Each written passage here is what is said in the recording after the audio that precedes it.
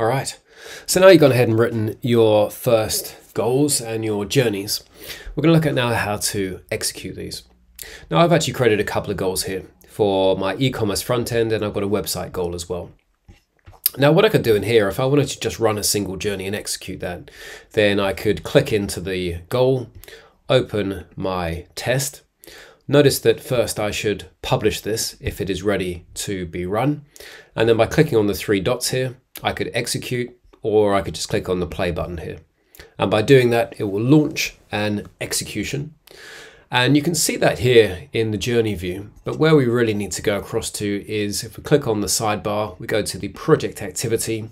These are all the jobs basically that we are running. You can filter through them, you can filter out and say, I only want to look at a particular goal and only those with a particular outcome.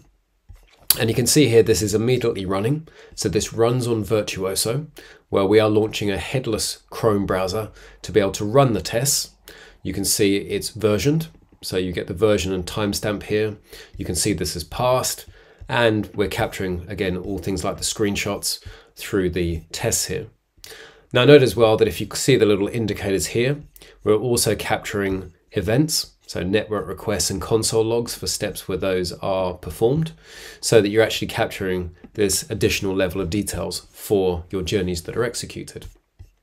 Okay, but we'll look a bit more at test reporting in a minute.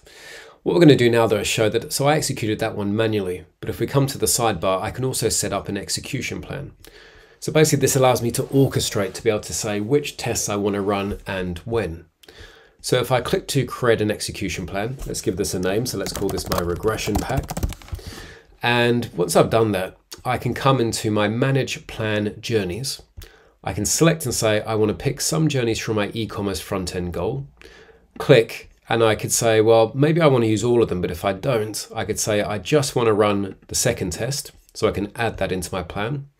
And then I could set my second goal, my website goal, and I just want to pick all the journeys there, so I could add those in. And you can see now I can start building out my execution plan, including I've got additional parameters here, but I'm just going to leave this set as just to be able to pick from two different goals, selected journeys, and now I'm going to create my plan. And now when I execute that, and when that is completed, I could come into the project activity and you can see that I've run those all of those journeys, so three of them via the regression pack, and I've got all the test results. Now you can also run from pipelines. We're not going to cover that in this video, but you can see these are two ways that you can run and orchestrate to execute your tests. We'll be looking at reporting next.